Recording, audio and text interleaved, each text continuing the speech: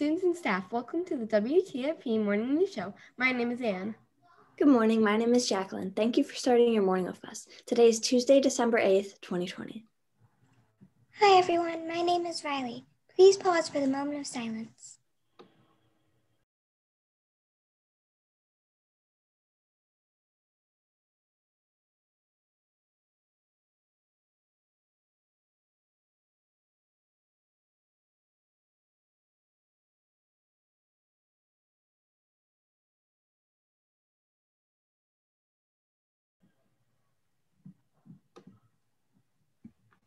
Please stand for the Pledge of Allegiance.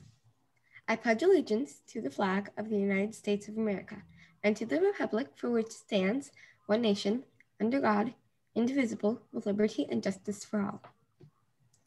Over the weekend, we had two birthdays. Happy belated birthday to Asha Monihan and Oliver Gusky. Happy b- birthday today to Ryan Quinn, Gabriel Borowski, Liam Heshmadipour, Blake, Elliott, and Miss Canassier. On Friday, our fifth graders bake, baked bread. This is a fifth grade tradition at Wolf Trap that they carried on the tradition virtually. Normally, they'd bake two loaves of bread from scratch and donate one of the breads. This year, due to COVID, they decided to share their bread with the family as a random act of kindness. The bread turned out beautiful, as you can see in these pictures. Most importantly, they had a blast doing it together as a class during the last hour of their school day on Friday.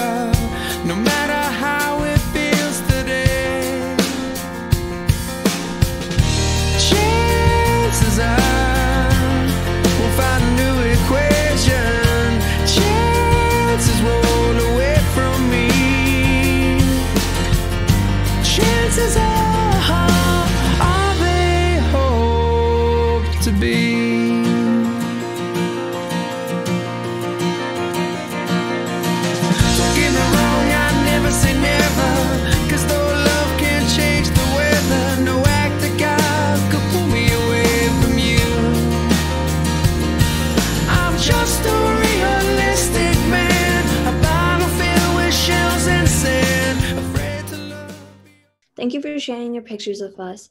Um, and way to go, fifth graders. This is a reminder that we have two food donation drives going on right now.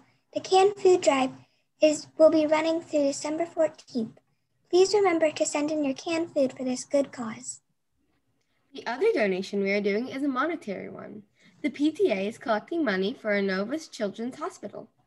Please visit the PTA website and make and make a donation. We are pleased to announce that we have already reached our goal of 500. Way to go, Wolf Trap!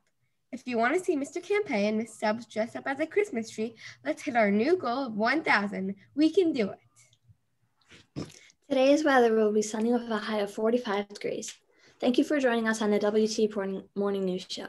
Have a trustful Tic tac toe. Talented Tuesday. Bye.